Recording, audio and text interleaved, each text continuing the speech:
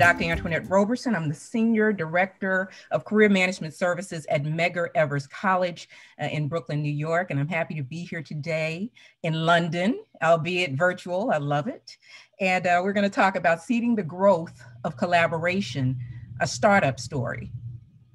And so, our agenda for today, we're going to talk about Startup New York. How did it come to be? Who is Nanotronics, our startup company? Elements of the Medgar Nanotronics partnership, outcomes beyond the partnership, future recommendations, and questions and answers. Startup New York, how did it come to be? What is it? Startup New York was a vision set forth back in 2013 by New York's Governor Andrew Cuomo. The premise was to couple academics or institutions, academic institutions and businesses, and offer them free incentives, tax free incentives to seed economic growth by creating jobs. I've heard a lot of that today on the conference, and future entrepreneurs. In the startup uh, diaspora, there are 212 businesses that are currently a part of this program, this innovative program. Now, who is Nanotronics? Nanotronics is one of the 212 startup companies and is the fastest growing of the 212 companies. They were founded back in 2010 and seeded in 2011 through this Startup New York program. The company develops hardware and software products that combine microscopic imaging and artificial intelligence. Heard a lot about that today on the conference call as well. Uh, they grew from a startup to a revenue generating company worth multi, multi million dollars in just eight years.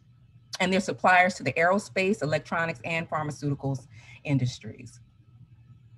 So now let's talk about the elements of the Nanotronics MEX partnership. And so these were the initial deliverables. MEX students and alum will be onboarded into paid internships, full and part-time positions. Nanotronics will participate in career services events throughout the academic year. MEC will coordinate in-class visits for Nanotronics to present an overview of services to introduce their brand to students from all disciplines. Nanotronics will work with the School of Business programs in a mentorship capacity to support student development and sustainability. Nanotronics and MEC shall collaborate on mutually beneficial and relevant research projects. And lastly, Nanotronics will allow students to participate in short-term shadowing experiences as well as on-site immersion days. And so I just wanted, I, am a visual learner myself. And so I wanted to make sure that I was able to provide some visuals here for the group. And so if you see in that top left-hand corner, you see a self-driving van.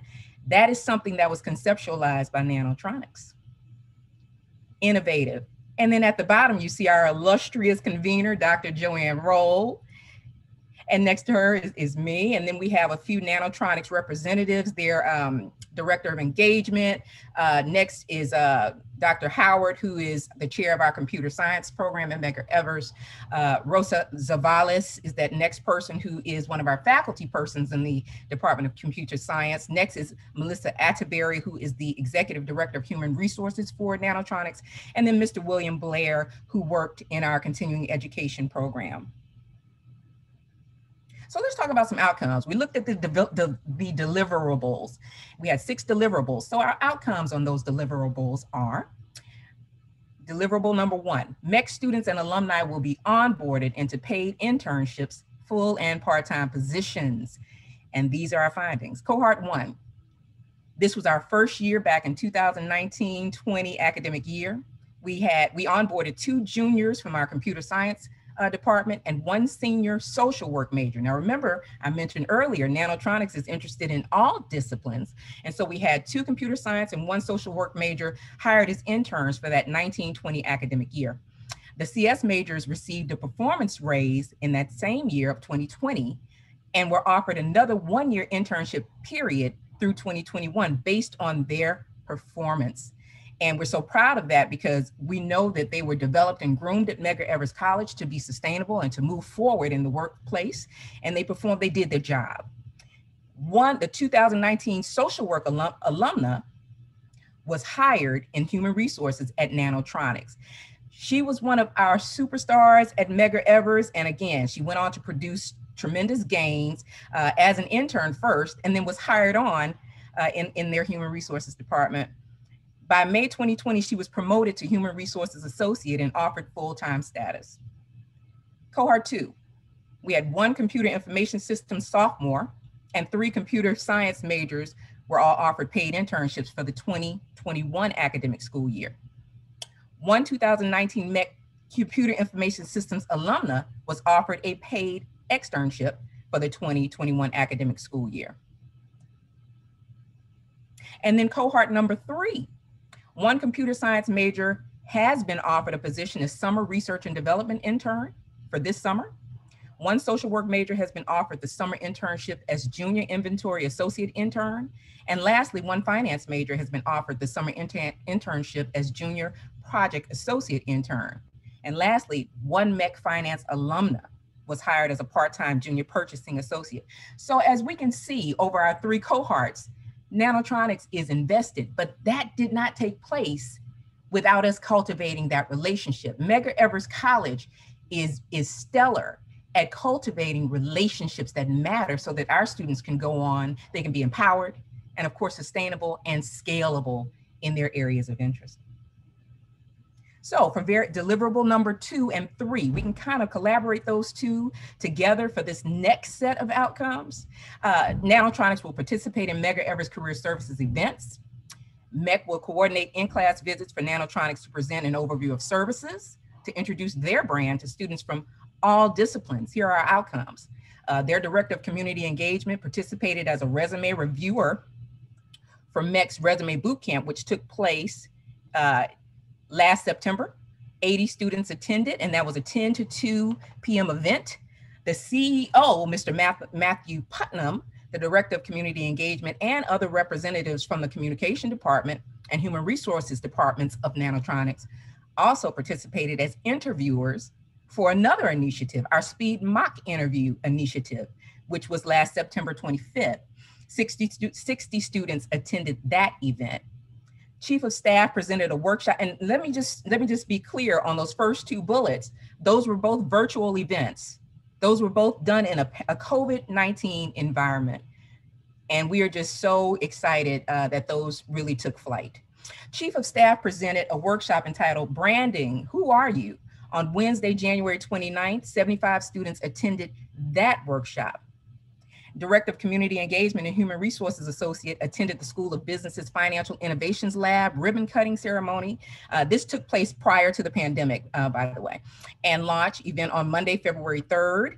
More than 100 students and 20 industry partners attended that inaugural event for Medgar Evers College.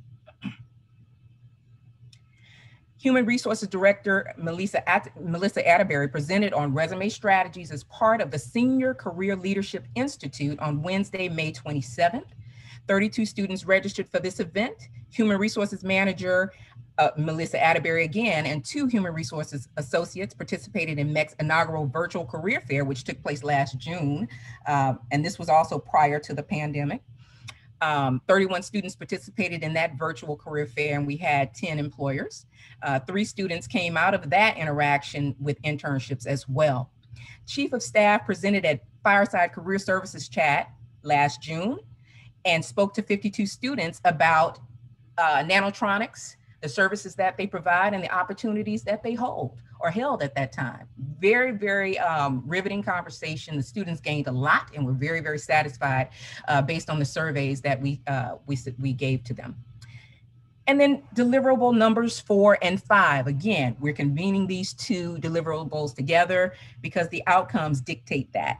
And so currently, Nanotronics, the Office of Career Management Services, and the Department of Computer Information Systems are currently designing a course curriculum which will blend AI business intelligence principles with soft skills development.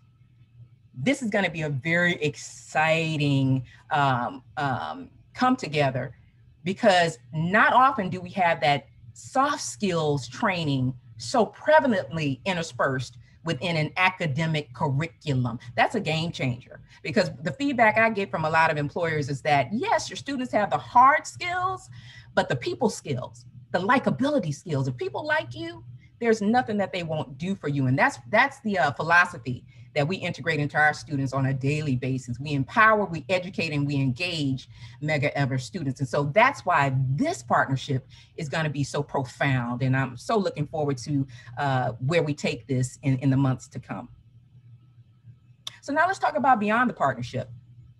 These are things that were byproducts of Nanotronics being so vested in Medgar Evers College and Medgar Evers meeting the charge uh, when it was when it was needed. The CEO, Matthew Putman, was the keynote for the International Conference on Business and Economic Development, hosted by the Center for Business and Economic Research and Medgar Evers College in August 2020 as part of their honorable mention in the spaces, places, and cities category for Fast Company, CEO Matthew Putman mentioned the Medgar Evers Nanotronics partnership as a part of their announcement of recognition for the 2020 World Changing Ideas Award, which hit newsstands on May 5th.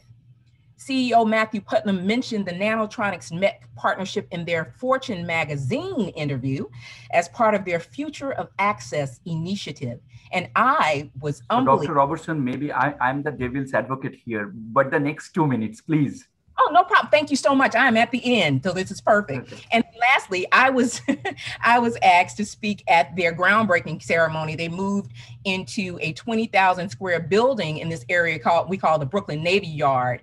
Um, and so, you know, they kept their first building, but they were able to upscale uh, into a 20,000 square foot building that used to house the ships that came into New York as a part of the Brooklyn Navy Yard. So there's a little bit of history there for you too.